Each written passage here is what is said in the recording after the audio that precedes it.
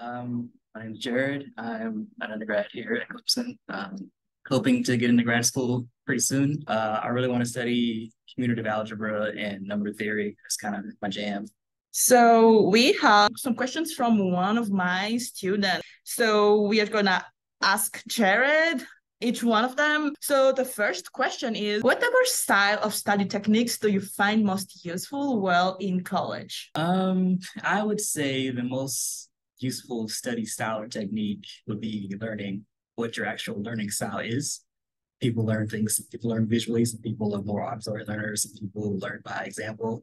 Um, one thing I really noticed about myself is I learn rather inductively with uh, inductive reasoning as opposed to deductive reasoning. So what that means is I, when I come across a problem, I solve that problem or I figure out steps and then I do another example and it builds up until like you see the general trend. Whereas with deductive reasoning, you start with the general trend and a professor gives you like a discrete or small example. And but my brain just doesn't work like that because I'm weird. That's a very good answer. So, what is one specific piece of advice that you learned in college throughout your experience that you would share, or even go back if you could and tell your past self? Um, uh, specific advice that I would give myself would be to um, take study seriously and not wait till your senior year. um, do better, I guess.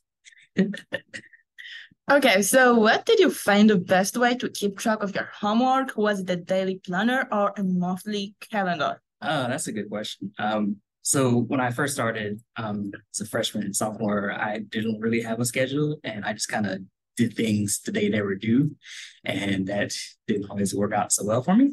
Um, but now that I'm a little bit more seasoned, uh, I usually try to keep like a daily task of the assignments I have due today or like assignments I have due come up fairly soon. And I'm a little bit more organized now. Some assignments still take a little longer than others, but that's to be expected sometimes.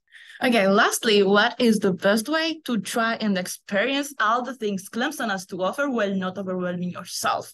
Essentially, how did you find your balance?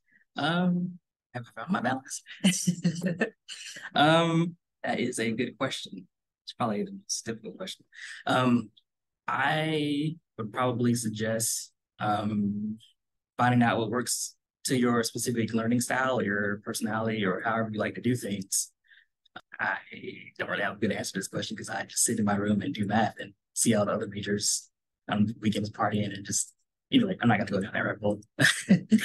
but um yeah, there's a lot of things to offer at Clemson and you just have to find your niche and go after what you really enjoy. And hopefully you meet some a lot of cool friends. Okay, thank you so much, for joining me today. And